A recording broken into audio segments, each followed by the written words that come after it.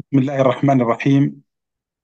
الحمد لله رب العالمين وأفضل التحية والإكرام على سيدنا محمد وعلى آله وصحبه أجمعين. بادئ ذي بدء أشكر منصة أريد الدولية ممثلة بمؤسسها ورئيسها التنفيذي وهيئاتها وأعضائها الكرام وأشكر مدير احتفالية إطلاق معجم منصة أريد الدولية ورئيس فريق العمل. على دعوته لي بالمشاركة للحديث في هذا اللقاء والذي جمعني بأساتذة كبار. حقيقة هم كبار ومن العيار الثقيل. وأود أن أشكر السادة الحضور آه، الذين يزهو بهم آه، هذا اللقاء حقيقة. في حضرة العمل الدؤوب لا صوت أبلغ من صوت الإنجاز. لا شيء يضاهي لذة الإنجاز. تلك اللحظة التي نقطف فيها ثمار الجهد. تلك اللحظة التي ننسى فيها كل تعب بذلناه في سبيل الوصول إليها. لا أخفيكم أنه كان حملا ثقيلا على عاتقي ذلك اليوم الذي كلفني فيه سعادة الأستاذ الدكتور عبد الرازق بالحديث عن المعجم لأن آه، أصعب اللحظات على المرء هي تلك التي آه، تعجز فيها الحروف عن وصف ما بداخله من مشاعر. حاولت آه، أن أنظر إلى هذا العمل من زوايا عديدة ربما سأعرج مختصرا في هذه الكلمة ومقتصرا على بعض الزوايا. أعرضها في آه، سبع رسائل قصيرة. أولا حقيقة رأيت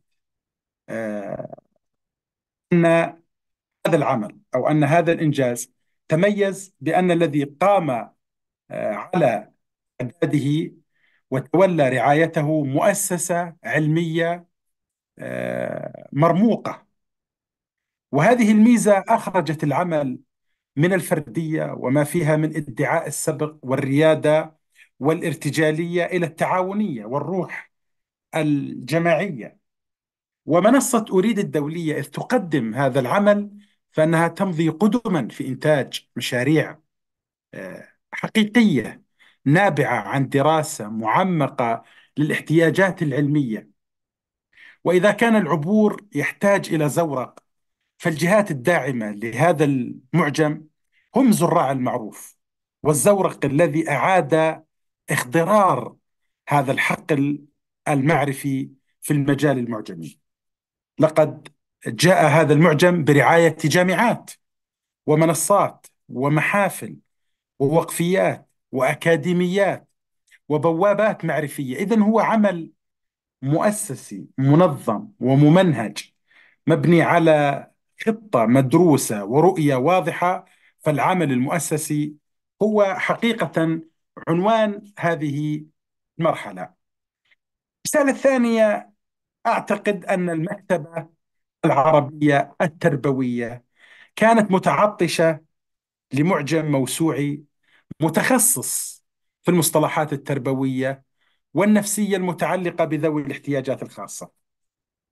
فتبرز أهمية هذا المعجم من أهمية الفئة التي تناولها وهذه الفئة من الناس ذوي الاحتياجات الخاصة يستحقون منا كل الدعم والمؤازرة والمساندة والمساعدة وهم أصحاب الهمم. وقد قدم هؤلاء إبداعات تقهر الإعاقة وتعلو القمم وأثبتوا حضورهم الفاعل والبارز في المجتمع وسط ظلام العينين وانسداد الأذنين وتعطل الأطراف والقدمين. إن اهتمام منصة أريد بهذه الفئة يؤكد سمو هذه المنصة وإنسانيتها ولهذا فقد خصصت وسام التحدي لهذه الفئة في سياق إذكاء روح التنافس بينهم وتحفيزهم على تخطي المعيقات والصعوبات التي تعترض مسيرتهم احتضانا منها للإبداع وتشجيعا منها نحو التقدم للأمام ودعما لمهاراتهم واهتماما بمواهبهم وتمكينا لهم في العطاء. هذا المعجم هو تعبير حقيقي عن هذا التمكين والاحتضان والدمج. على أن حديثي هذا لا يقتصر على ذوي الإعاقة الجسدية أو العقلية أن مفهوم ذوي الاحتياجات الخاصة كما تعلمون أيتها السادات أيها السادة ال ال ال ال يضم هذا المفهوم المتفوقين والمبدعين والمفو وال والموهوبين فهؤلاء قدموا للبشرية إبداعات يتصاغر المرء أمام دهشتها وعظمتها. وما الطائرة والكهرباء والحاسوب والتكنولوجيا عنا ببعيدة؟ وإذا كنا ألفنا تلك المخترعات والمنجزات علينا أن ننظر إليها بعين أخرى.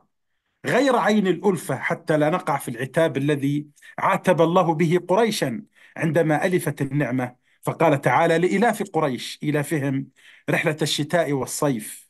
فليعبدوا رب هذا البيت الذي أطعمهم من جوع وآمنهم من خوف. الرسالة الثالثة أن الذهاب إلى هذه المساحة مساحة المعجمية تحديدا أمر في غاية الأهمية والضرورة.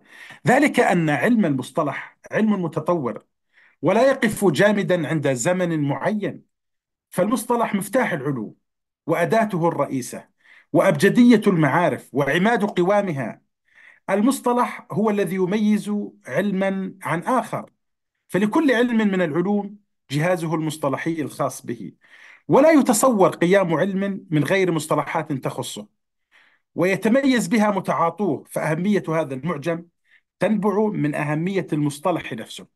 فهو يمثل الوعاء الذي تطرح من خلاله الأفكار. فإذا ما اضطرب ضبط الوعاء أو اختلت دلالته التعبيرية أو تميعت معطياته اختل البناء الفكري ذاته واهتزت قيمته في الأذهان. فضبط المفاهيم والمصطلحات ليس من قبيل الإجراء الشكلي أو التبادل المصطنع بقدر ما هو عملية تمس صلب المضمون وتتعدى أبعادها إلى نتائج منهجية وعلمية. الرسالة الرابعة هذا المعجم يقدم تحديدات دقيقة لما تعنيه ألفاظ المشتغلين بحقل التربية الخاصة حيث يشكل مرجعية موحدة في التعامل مع المفاهيم والمصطلحات ويجنبهم فوضى المصطلح ولعل المصطلحات التربوية لم تسلم من هذا الاضطراب والفوضى. وذلك لأنها أخذت تصوراتها من حقول معرفية متباينة وخلفيات فلسفية متعددة. لا أخفيكم أنني أعاني كأستاذ جامعي من أن مصطلحات التربية ومفاهيمها أصبحت زائغا معرفيا حتى غدا في مؤسساتنا التعلم هو التعليم. والإستراتيجية هي الطريقة والمنهاج هو الكتاب والحضارة هي الثقافة والمواطنة هي الهوية والعلم هو المعرفة والهدف هو النتاج والوسيلة هي الأسلوب. وهكذا وباتت المصطلحات في فضاء من الانفلات. ولم يعد الأساتذة قادرين على مواجهة البلبلة المصطلحية. ولم يعد الطالب قادر على تقريب المصطلح على ظهره أو بطنه حتى يتبين له الخيط الأبيض من الخيط الأسود من الفجر.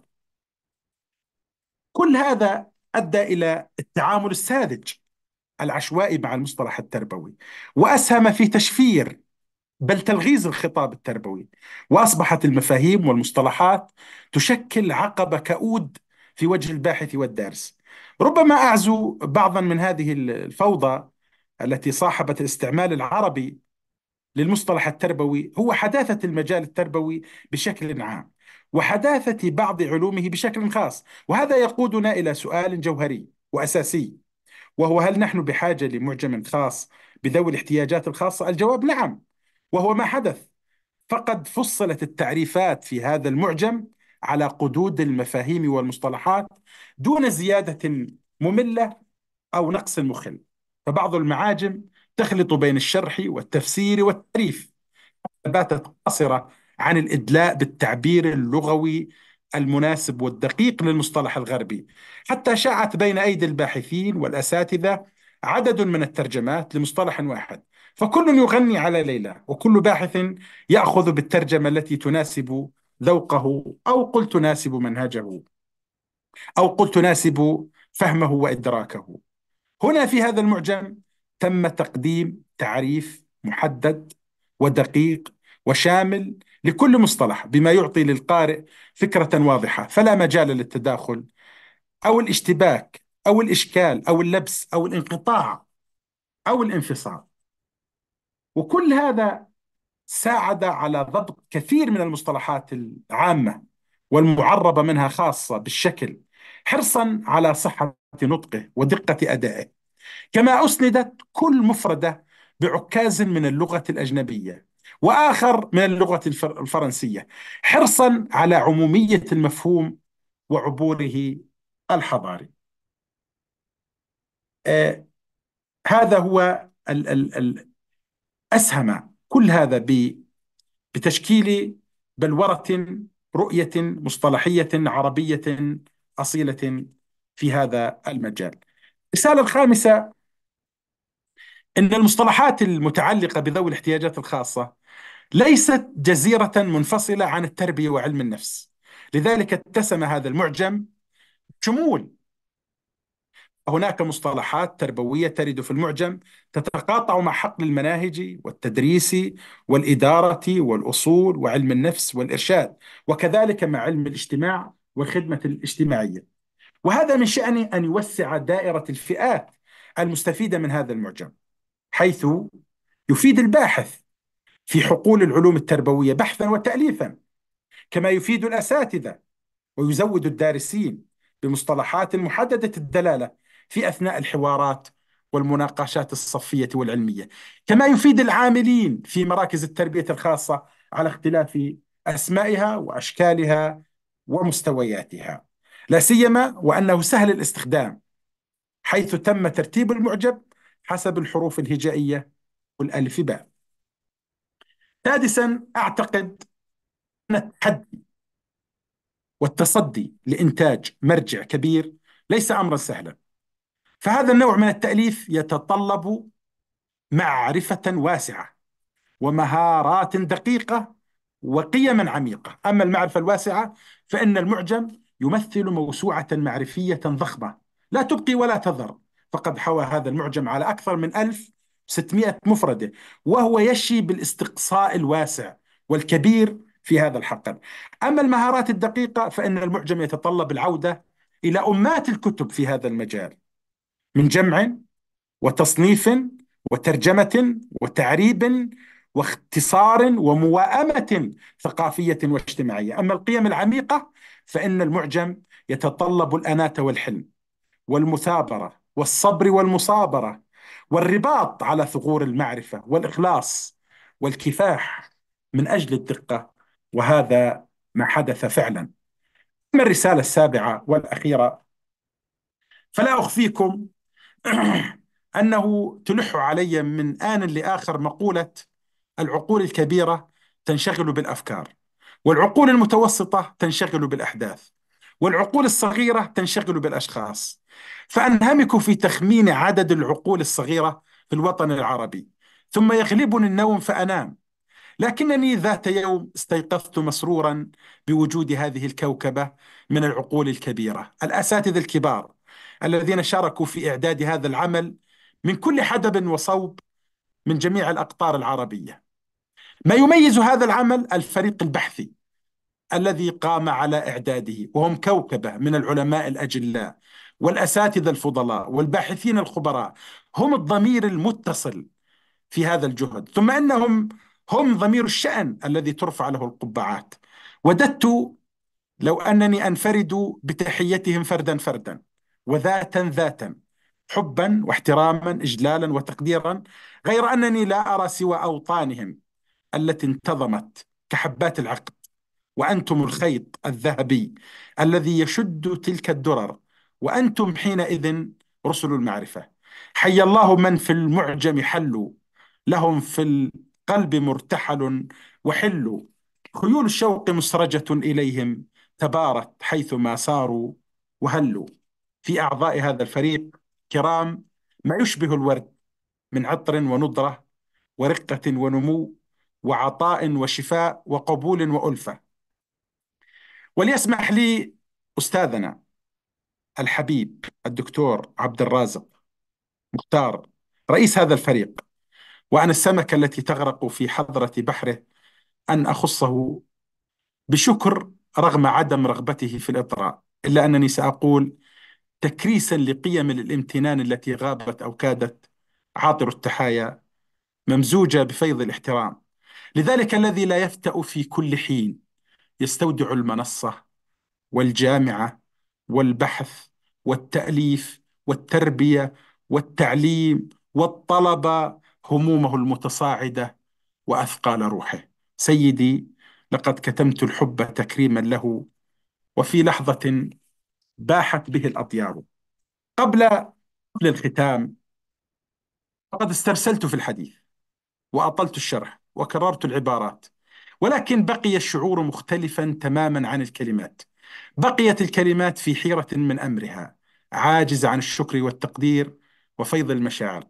شكرا لكم جميعا على حضور هذه الاحتفالية التي غدت أمسية بنكهة الحب الذي لا تنتهي صلاحيته.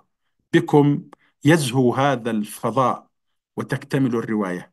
وهكذا تمر الريح أغنية طليعة وعلى فمي تضع الحروف صغارها وتغيب. والسلام عليكم ورحمة الله وبركاته.